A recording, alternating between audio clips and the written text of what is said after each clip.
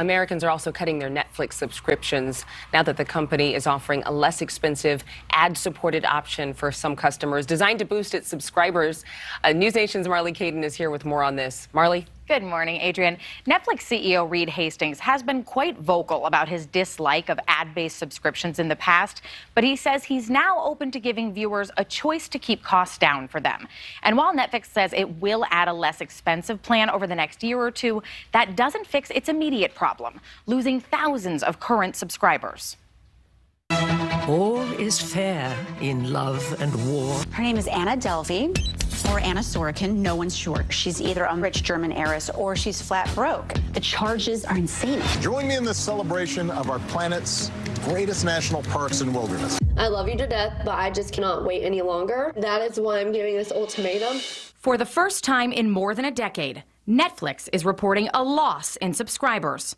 The streaming giant lost around 200,000 subscribers globally in the first quarter.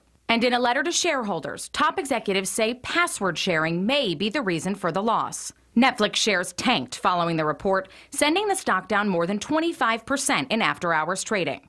And while 200,000 subscribers is only a fraction of 1% of the streaming service's total subscriptions, things are not getting better anytime soon. The company expects to lose another 2 million subscribers in the second quarter of this year. And it's not just password sharing. Slowing economic growth, soaring inflation, and Russia's invasion of Ukraine are all listed as reasons for the drop in subscribers. And Netflix says that pulling the streaming service out of Russia actually cost them 700,000 subscribers alone.